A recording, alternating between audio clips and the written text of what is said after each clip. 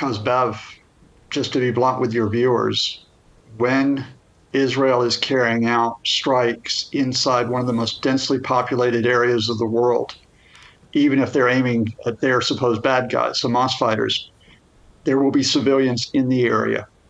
There is no place safe in Gaza from these types of airstrikes.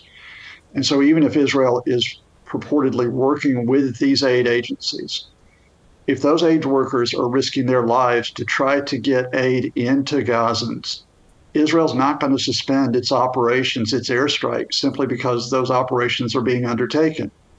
They have killed a series of aid workers already up to this point. Some of them work for the UN, some of them work for other NGOs. It just so happens that they hit the World Central Kitchen today. And as a result, that group, which had been doing vital work in Gaza since October, has now suspended its operations. Yeah. As you point out, it was one of the few aid agencies getting into Gaza um, in this dire humanitarian situation. To your point that this is not an isolated case, the IDF says there will be an inquiry, but is there enough accountability in the end when Israel says it is taking every effort not to get civilians or aid workers targeted in this uh, this this campaign? I mean, look, let's let's be blunt here. You know, when the suspect investigates himself, can you expect a clear resolution on what's happening? I mean, if we were talking about doing this properly, there should be an independent inquiry on a series of these killings, be they of aid workers, be they of other civilians, be they of journalists. But you're not going to get an independent inquiry into what is happening inside Gaza while you have an open ended war which is now being carried out, carried out by Israel. And if we go on to talk about Al Shifa, what has happened in that hospital in the past two weeks, and indeed has happened for months, Israel might promise an independent inquiry into the killing of hundreds of people there. But I don't think you're going to get a resolution from the Israelis, at least, which puts blame on them rather than Hamas for what has happened you know, you talking of Al Shifa, it's hard to categorize the, the destruction that's been left behind. I mean, in your experience and having covered many events like this, does it need to be destroyed to such an extent in, in the pursuit of Hamas? A question of whether it needs to be destroyed. When you have a perpetrator of this saying we're going after bad guys any extent of damage is then justified by themselves. We saw this with Russia and the Assad regime in Syria. I covered that conflict for more than a decade. They wiped out almost every functioning hospital in northwest Syria and then said, oh, it's because we're going after, quote, terrorists. Israel has wiped out the majority of hospitals and medical clinics in Gaza. It's not just Al Shifa. They have killed hundreds of people in those hospitals. Um, the fact of the matter is, they will say, well, we had to go in there because there were Hamas terrorists inside there. It is inevitable that when you have wounded Hamas fighters, where are they going to go to? They're going to go to hospitals. And when they do so, it provides the pretext for Israel to go in and to try to round them up. And again, any civilians who are there are simply put at risk by that. And I got to be honest with you. If Israel gets some Hamas militants or Hamas terrorists, as they call them, then that loss of civilian life appears to be justifiable for the IDF. Yeah. Iran has said Israel's attack on its Damascus consulate will not go on go, go unanswered. Israel says it's killed Iranian commanders, but it's not a consulate. Um, it is, in fact, it says a military building. Where does the truth lie? Um, um, these are two opponents. It's a consular building. It's where people, for example, who go to the Iranian embassy in Damascus go for services, for example, possibly getting, getting visas. If they're residents in Syria, they might get documents which are there. Uh, your viewers in Australia will know of consular buildings around the world like this. This was Iranian territory.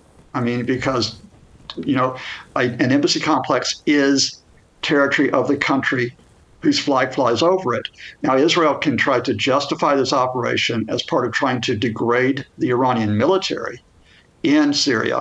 And this is the second time it's killed Iran's top commander in Syria in the past three months. It's now more than 10 senior officers and commanders it has killed since December 25th. And Israel might justify that by saying Iran is a threat to Israel because of its links to the Assad regime and to Hezbollah. But let's be clear This is a distinctive attack because for the first time, Israel has carried out a targeted assassination, which is on an Iranian site, an embassy site, rather than being on Syrian territory where the Iranian military happens to be. So, to that point, because there is that differentiation, must Iran respond to this incident? Oh, I mean, it, it, the Iranian president, Ebrahim Raisi, every time there's an attack like that, comes out and says, We will respond, we will respond, and he'll shake his fist. From a practical point of view, Iran is boxed in in terms of how it tries to respond to this attack.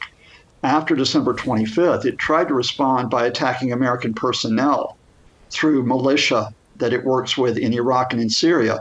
It carried out more than 150 attacks since October on American sites uh, but in the end, the U.S. retaliated, killed a series of militants, uh, militiamen, and the Iranians had to back down. I think if the Iranians try a military response against Israel and against the United States, they'll get punched in the nose again. Instead, what Iran's probably going to do is to say, We're the victim here. Look, we're the victim here. Israel's the aggressor.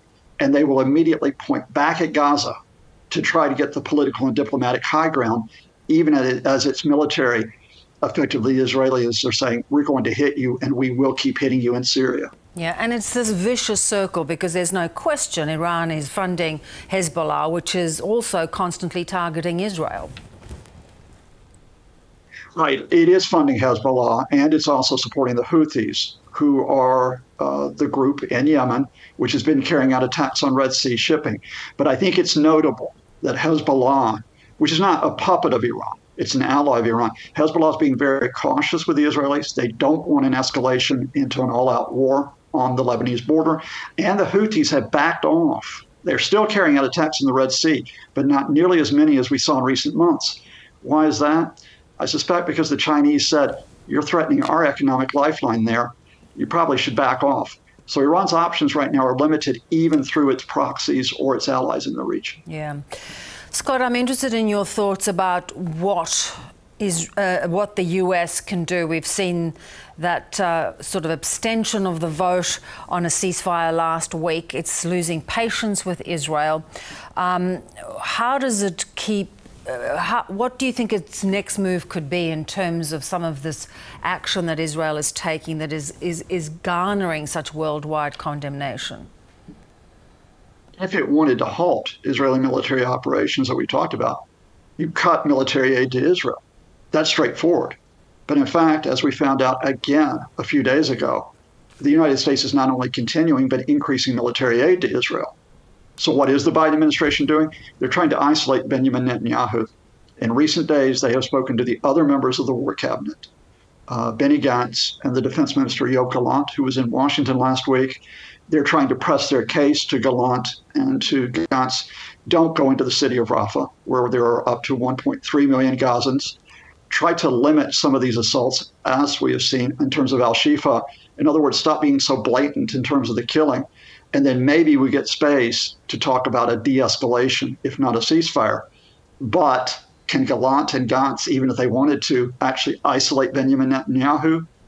I'm not sure they can. And let's be clear as long as Netanyahu's in power, the Israelis will not stop this open ended war. Yeah, that's become very clear. Scott, um, always good to have you on. Thank you so much. Thank you, Bev.